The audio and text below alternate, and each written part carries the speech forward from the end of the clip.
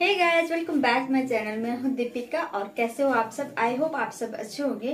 तो friends thirty days course में, thirty days beautician course में आज हम थ्रेडिंग की थ्योरी करने वाले हैं। क्योंकि मैंने बता तो दिया है, दिखा भी दिया है, इससे पहले के जो वीडियोस में मैंने दिखा दिया है कि थ्रेडिंग के क्या क्या टूल्स की नीड होती है हमें। लेकिन आज हम थ्योरी करेंगे थ्रेडिंग की। थ्योरी हम इसलिए करेंगे क्योंकि जो बिगिनर्स है, उनको जरा भी इस बारे में नॉलेज नहीं होती है। तो अगर हम थ्योरी करेंगे तो थोड़ा बहुत सभी को समझ में आ जाएगी। जो बिगिनर्स है, उनको ज़्यादा काफ़ी अच्छे तरह से समझ आएगी।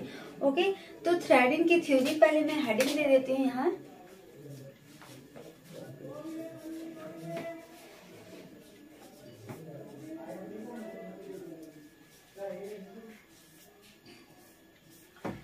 तो गैस आप लोग मेरी राइटिंग में मत जाइएगा क्योंकि मेरी राइटिंग बिल्कुल भी अच्छी नहीं है।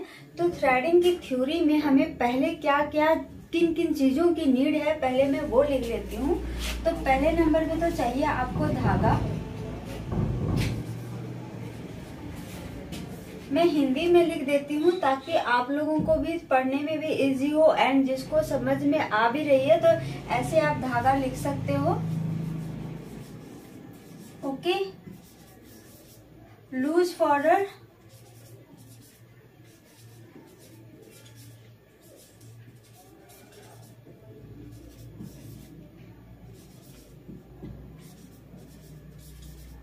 सीजर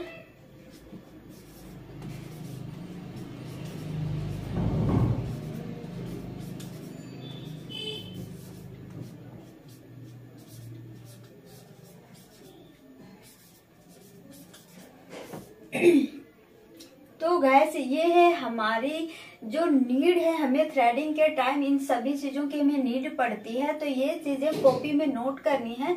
सबसे पहले हमें चाहिए धागा, जो 40 नंबर का होना चाहिए। उसके बाद हमें चाहिए लूज पाउडर आप कोई भी लूज पाउडर ले सकते हैं। उसके बाद थर्ड नंबर में हमें सीजर चाहिए सीजर हमें छोटा चाहिए ओके सीजर छोटा लेना है, बड़ा नहीं लेना है, उसके बाद हमें चाहिए स्ट्रेंजर एंड मॉइस्चराइजिंग स्ट्रेंजर हम तब यूज़ करेंगे जब हमारी क्लाइंट्स की स्किन बहुत ज़्यादा सेंसिटिव है एंड दाने आ ही जाते हैं थ्रेडिंग के बाद तो ऐसे स्किन पे हम स्ट्रेंजर यूज़ करेंगे ओके लेकिन अगर जिनकी स्किन नॉर्मल है थ्रेडिंग चलाने से, धागा चलने से किसी भी तरह की कोई प्रॉब्लम नहीं होती है, तब हम यूज़ करेंगे मॉइस्चराइजिंग वैसे आप स्ट्रेंजर दोनों पे कर सकते हो, ऐसी कोई प्रॉब्लम नहीं है, लेकिन अगर इस तरह की प्रॉब्लम देखे, अगर दिखे आपको इस तरह की प्रॉब्लम तो आप चूज़ कर सकते कि हमें क्या करना है, क्या अप्लाई करना है ओके तो ये चीज़ें आपको नोट करना है, आप इसकी स्क्रीन ले लेना, या फिर फटाफट से आप इसको नोट कर लेना। इसके बाद हम बात करेंगे कि थ्रेडिंग थ्रेडिंग है क्या? थ्रेडिंग हमें कहाँ कहाँ करनी चाहिए? धागा कहाँ कहाँ मीन्स की हम चला सकते हैं। तो यहाँ पे मैं नोट कर लेती हूँ, या फिर इसे मैं इरेज कर देती हूँ।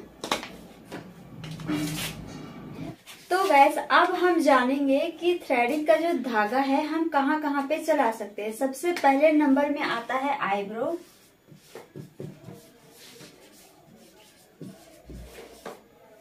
सबसे फ़र्स्ट नंबर में हम थ्रेडिंग बनाते हैं तो धागा सबसे पहले नंबर आईब्रो में चलती है, उसके बाद सेकंड नंबर फोर हेड पे चलती है।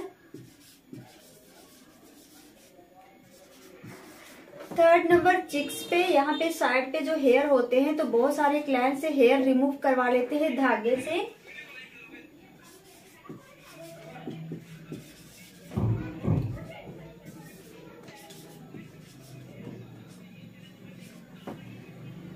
थर्ड नंबर में चिक्स में चलाएँगे एंड फोर्थ नंबर में चीन में चलाएँगे। यहाँ पे चीन एरिया में भी हेयर निकल आते हैं।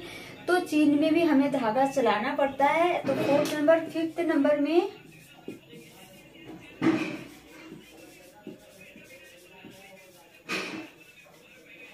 फिफ्थ नंबर में हम करेंगे अपर लिप्स। इन इन सभी जगहों पे हमारे थ्रेडिंग का धागा जो है, वो हम चलाते हैं। जहाँ पे पार्लर में हमारे क्लाइंट्स की रिक्वायरमेंट होती है, जहाँ भी वो बोलते हैं थ्रेडिंग अपर लिप्स फोरहेड तो नॉर्मल सभी करवाते हैं, लेकिन चिक्स और चिन भी कई कई बार हमें करना पड़ता है। कई बार हमें क्लाइंट्स बता देते हैं कि चिक्स एंड चिन एरिया में भी करना है। तो धागा हम इन इन एरिया में चलाएँगे। एंड इसके बाद बात करते हैं कि सावधानियाँ हमें क्या बरतनी चाहिए। तो सावधानियाँ आप रख सकते हो कि जब भी आप क्लाइंट्स की थ्रेडिंग चला रहे हो तो आपको धागा स्ट्रेच करके पकड़ना है, अच्छे से फोल्ड करके पकड़ना है, जितनी बार मैंने बताया है। उसके बाद हमें ध्यान रखनी है, हमारे जो क्लाइंट्स है, उनको अच्छे से होल्ड करवाना है, ऐसे करके ऊपर नीचे अच्छे से होल्ड करवाना है। उसके बाद हम स्किन देखेंगे कि स्किन किस तरह की है। तो जब हम थ्रेडिंग करेंगे, उससे पहले हम पाउडर अप्लाई करेंगे। पाउडर अप्लाई करने के बाद जब हमें लगेगा कि थ्रेडिंग कंप्लीट हो गई है तो स्ट्रेंजर या मॉइस्चराइजिंग अप्लाई करेंगे। ओके? तो इन सभी चीज़ें हमें थ्रेडिंग में ध्यान देना है एंड जो थ्योरी मैंने करवाई है, इसे भी आपको नोट कर लेना है। और धागा जहाँ भी आप चला रहे हो, वहाँ लास्ट में आपको मॉइस्चराइजिंग या स्ट्रेंजर आपको ज़रूर अप्लाई करना है। आपको जिन भी चीज़ों की नीड हो, वो चीज़ें आपको सामने रख लेना है ताकि आपको दिक्कत ना हो। तो गैस आज की वीडियो आई होप आप लोगों को पसंद आई होगी। इसके बाद नेक्स्ट हम बात करेंगे कि हमें जब आईब्रो चलाने की जो धागा प्रैक्टिस करनी है, वो हम कहाँ कर सकते हैं तो नेक्स्ट वीडियो में मैं बताऊँगी। तो आज की वीडियो अगर आप लोगों को जरा भी हेल्पफुल लगी हो तो प्लीज़ लाइक, कमेंट, शेयर ज़रूर करना। मेरे चैनल पे न्यू हो तो सब्सक्राइब ज़रूर करना, बेल आइकन घंटी को प्रेस करके रखना। एंड अगर आपको किसी भी तरह की कोई भी कंफ्यूजन लगती है तो आप मुझे कमेंट कर सकते हो, मुझे इंस्टाग्राम में डीएम कर सकते हो हंड्रेड परसेंट मैं रिप्लाई करूँगी। अगर आप लोग मेरे कोर्स में ज्वाइन हो रहे हो, कहीं भी आपको कुछ भी समझ में नहीं आ रहा है तो मुझे कमेंट कर सकते हो, क्योंकि मैं आपको हर चीज़ समझाने वाली हूँ स्टेप बाय स्टेप समझाने वाली हूँ, जिससे कि आप घर बैठे ही ये कोर्स कंप्लीट कर लो। आज के लिए इतने ही, मिलते हैं नेक्स्ट वीडियो में, तब तक के लिए बाय